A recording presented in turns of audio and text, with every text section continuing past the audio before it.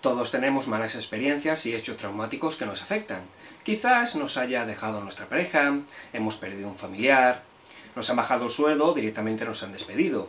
O puede que incluso en un día muy malo, mm, puede que nos pase todo a la vez. ¿Qué hacemos en estos casos? El sentido común nos dice que, seguramente, si compartimos nuestro dolor con los demás, nuestros amigos, por ejemplo, nos sentiremos mejor, por la lógica de si un problema es compartido, es medio problema. Hablar con un buen amigo sobre tus problemas te servirá para liberar esas emociones negativas. Es algo catártico. Es una bonita idea que comparte el 90% de la población, pero ¿hasta qué punto es realmente efectivo? Los investigadores Emmanuel C. y Bernard Rhein pidieron a un grupo de voluntarios que recordasen una experiencia negativa de su pasado. Tenía que ser algo serio, nada como perder el autobús, o mojarse en un día de lluvia, o cualquier otro fastidio cotidiano. Después, a ese grupo de participantes lo dividieron en dos subgrupos.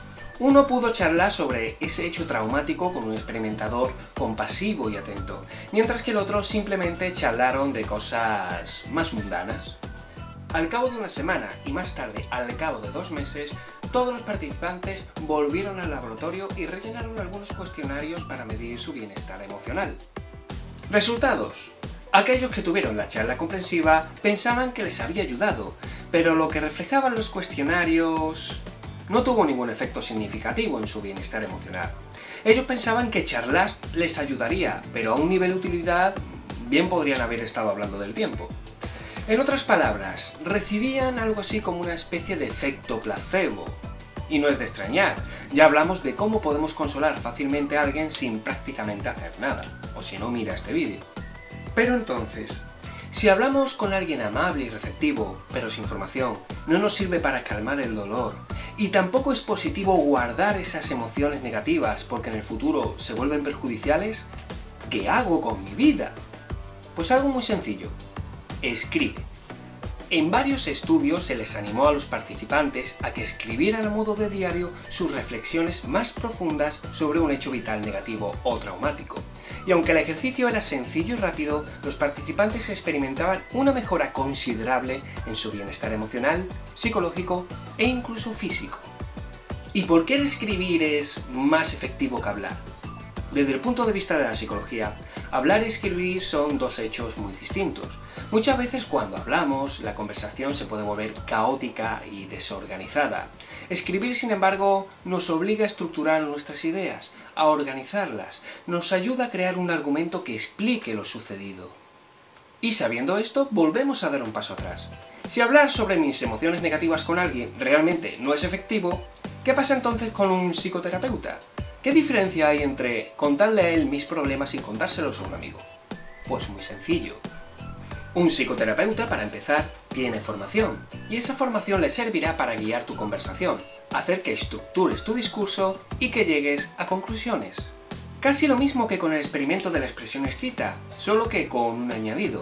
Aparte de lo anterior, el terapeuta te ayuda a ver las cosas desde otro punto de vista y a buscar soluciones. El radical de turno ya estará quejándose de que estoy diciendo de que deje de lado a sus amigos porque no sirven para nada, y nada más lejos de la realidad. ¿Cuándo puede ser útil acudir a un amigo? Pues cuando tienes un problema muy concreto. Es decir, cuando no sabes cómo desbloquear la tarjeta de tu móvil, cuando no sabes qué vestido comprarte, cuando no tienes coche y necesitas ir a alguna parte. Problemas sencillos que puedes resolverse acudiendo a tus relaciones de amistad, que se basan concretamente en eso mismo, en compartir experiencias y recursos. ¿En qué otras situaciones puedes acudir a tus amigos? Cuando tengas una situación grave o un problema serio y hayas tomado la decisión de superarlo. En este caso, tu grupo de amigos se convierte en un grupo de apoyo. Su función, no dejar que desfallezcas en tu proyecto de superación. En resumen, expresar nuestras emociones negativas a alguien lo percibimos como muy favorecedor, pero no es muy útil. Es mejor expresarnos a través de la escritura. Tus amigos pueden ayudarte con problemas concretos. Tus amigos además pueden convertirse en un grupo de apoyo. Así que, como consejo final, si algo te preocupa, escríbelo. Y cuando hayas tomado una decisión sobre tu problema, exprésate con tus amigos para que te sirvan de apoyo. Y mientras tanto, también podrás contar con ellos en caso de que te surjan problemas concretos.